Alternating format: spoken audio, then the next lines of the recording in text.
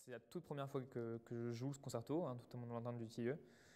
Euh, c'est quelque chose de, c'est un concerto que j'ai pas beaucoup travaillé étant, plus jeune.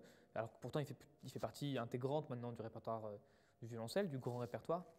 Euh, donc c'est assez excitant pour moi de, de, m'attaquer à quelque chose de nouveau parce que c'est vrai que même si j'ai je suis encore très jeune, même si je n'ai pas encore énormément d'expérience, j'ai beaucoup joué tous les autres concertos du violoncelle. Euh, on n'a pas la chance d'avoir un répertoire comme celui du piano qui est, immense.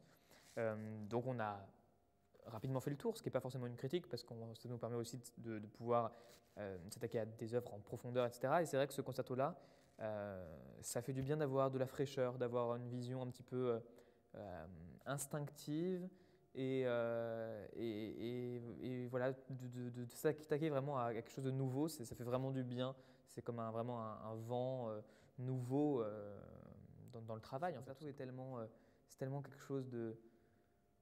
Je pense que le titre Tout à mon lointain veut dire beaucoup de choses et rien en même temps. Et c'est, et c'est un petit peu ce que cette musique procure.